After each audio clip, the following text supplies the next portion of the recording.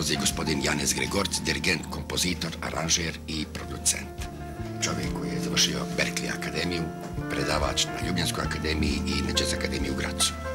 Mogu li kazati tako? Je li to sve tačno? Jasno. Točno, če vi tako rečete, se pravi te informacije. In v Mariboru sad. A i u Mariboru. Posljednji čas i na pedagoški fakulteti v Mariboru. U Mariboru. To znači da ste imali priliku da iz Sarajevskog big benda upoznate klavijaturistu Sinena Alimanovića. Sjećate se kada ste se možda Ma, sreli? apsolutno se tega spomnim. To so, zdaj ne vem, kjera leta, to je 80, nekje od 80 se je, je začelo to, ali eh, se dobro spomnim eh, enega leta, to je bilo leto 88, ko je dobil eh, eh, Sina Alimanovič eh, nagrado za Aranžman. aranžma. Namreč vsako leto je bila eh, obvezna tema ena narodna. In to Za sve big Za bende, vse big bende. Ena narodna, ko je mogel vsak big band v svojem aranžmanu napraviti. No in tega leta je bila ta skladba, mislim, da je bilo to Golube moj, Golube moj golube. Golube moj golube, ja. Eh, kjer je dobil Sinan prvo nagrado, se pravi nagrado za najbolji aranžma tistega leta. No in seveda, mi dva se poznava že odprej, ker, kot sem rekel, je to druženje big bandov in kot dober, komponist in aranžer, prvo smo se poznali aranžeri med sabo in komponisti. To je bila prva ta prvi ta kontakt smo se dobili. No, in on mi je že takoj padel kot uh, izreden aranžer, ki je veliko pisal za njihov big band in naravno, da je tudi to redil sadove in dobil tudi nagrado za to aranžman. Za obradu i orkestraciju ove pjesme Sinan Alimanović je dobio nagradu stručnog žirija Jugoslovenske radiotelevizije u Radencima.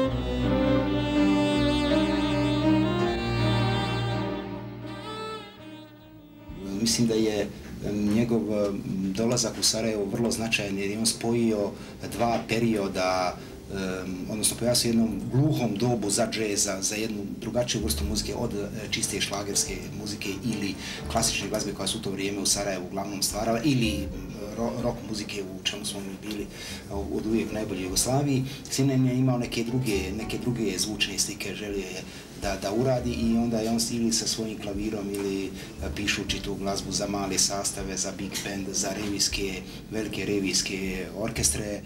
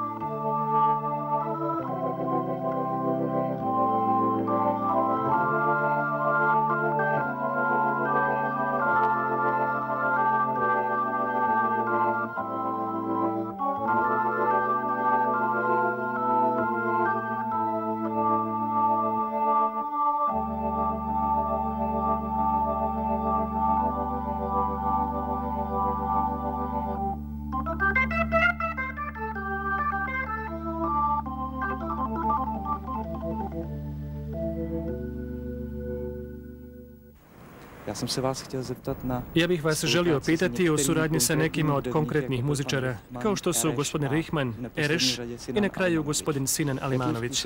Na koji način je ta suradnja na vas djelovala i kako vas je inspirirala? A jakým způsobem vás také inspirovala? Je to zajímavé, že nikdy eh, se člověk nesetká s kolegama, který by Zanimljivo je da se čovjek nikad ne sretne sa kolegama koji na njega djeluju isključivo u okviru profesije. Što znači da ne postoji samo utjecaje muzičara na muzičara. Obzvlášť se Sinanem měl velice dobré vztahy i lidské. To ja sam naročito sa Sinanom imao i veoma dobru ljudsku komunikaciju, što mi se čini normalnim. A onda sam odjednom imao priliku ne samo upoznati Sarajevo, tu zemlju i ljude, već upoznati kolege. Pomislio sam da je tamo sigurno drugačija muzička kultura, što je istina, jer se razlikuje od one koju imamo ovdje u Srednjoj Evropi. Na primjer, a također i od one u zapadnoj Evropi. Pitao sam se kako je ta kultura utjecala na muzičare i kako će to sve komunicirati u kontekstu suradnje sa mnom i mojim kompozicijama koje sam tamo izveo sa orkestrom. Mislim da je ta suradnja bila odlična sa obje strane.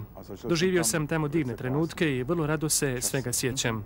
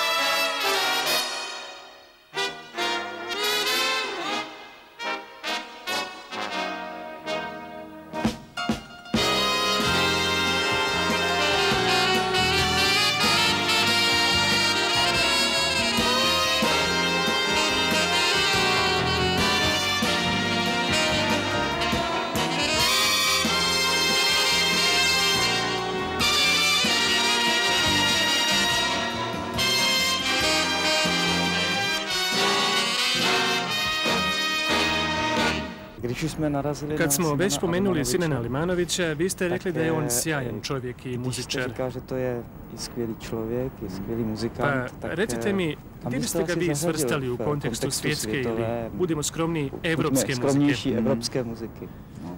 Možemo reći svjetske. Ja ne volim da svrstavam i ocjenjujem ljude.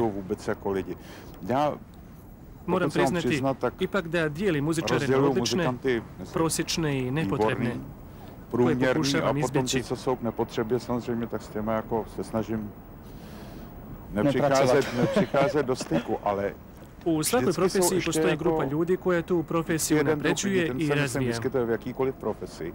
A ten tu profesi bych řekl malinko uh, pos, pos, posunuje dopředu a to jsou Sinan spada u tu vrstu ljudi, jer on ima veći pregled u svojoj profesiji i može nešto ponuditi muzici. Svaki odličan interpretator ne mora pružiti nešto novo, neku novu vizuru, a pogotovo ne sa gledišta komponovanja. Sinan nije samo odličan izvođač, jer on bi mogao doći bilo gdje u Evropi, u Prag, London i tako dalje, i sjesti među isto tako kvalitetne profesionalne muzičare i uvijek biti jedan od najboljih. Stejně kvalitní, stejně kvalitní profesionály a prostě si tam sedne a bude zase jeden z těch vynikajících, takže on je skutečně On je nadnárodní i kozmopolitský muzičar. Kosmopolitní, určitě v každém případě. Sinan Alimanovič je klavíristou big bandu RTV Sarajevo, ale má také vlastní jazzové kvarteto. Jako klavírista byl také členem jazzového orchestru Evropské rozhlasové unie.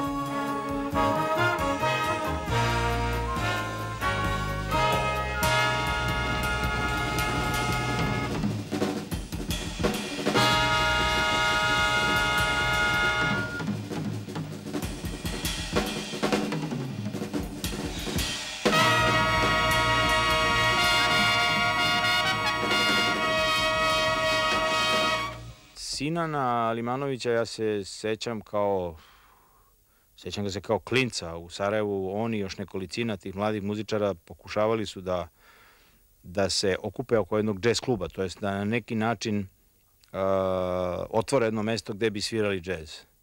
Znam da je imao strašnu želju, veliku, ovaj, veliku onu ljubav, veliku energiju samo da svira, uvek je goreo da svira. Mm, nismo baš nešto mnogo svirali zajedno, ali smo bili na jednoj turneji. On je uh, tada bio klavirista orkestra Sarajevskog, a ja sam kao gost solista pošao sa njima u Prag. To je bila jedna televizijska emisija i jedan koncert i svirao sam sa njima nekoliko kompozicija kao, kao gost. Inače, eto tako, sećam ga se, kažem, sećam ga se kao veoma talentovanog uh, klinca sa mnogo ljubavi, mnogo žari za, za jazz muziku.